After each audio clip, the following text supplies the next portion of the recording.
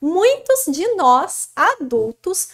não estamos ainda compatíveis com essas energias que estão vindo. Se a gente pensar lá no primeiro exemplo que eu dei das crianças índigo, da geração índigo, que hoje teria por volta de 30 anos, entre 30 e 40 anos, a gente vê que, enfim, é a geração que está tendo filhos, é, em sua maioria,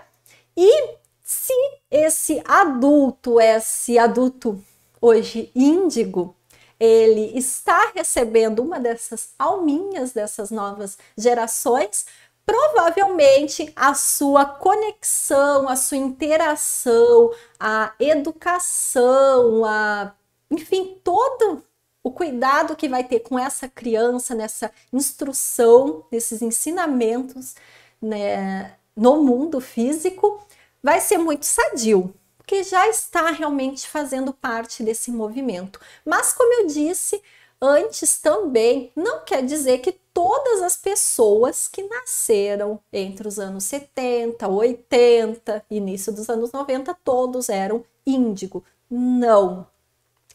então, nesse sentido, principalmente adultos que não se conectam muito com essas energias de inovação, de questionamento, de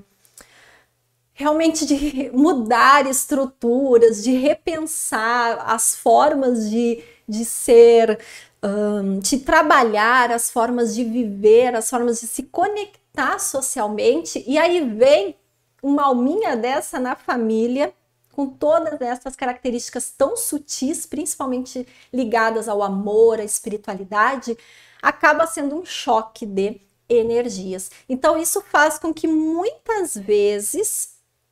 se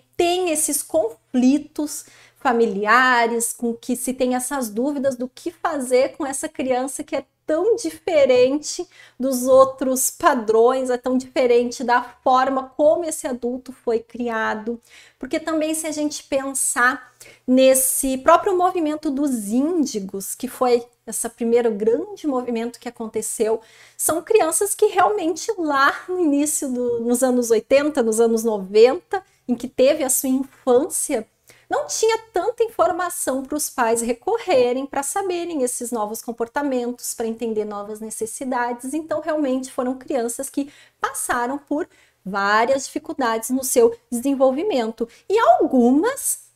crianças índigo, da geração índigo, acabaram anulando essas suas características também, para conseguir se inserir no contexto familiar, conseguir se manter nesse ambiente social, muitas acabaram também abafando essas suas características. E aí, hoje, quando tem filhos com essa nova energia, também não sabe o que fazer.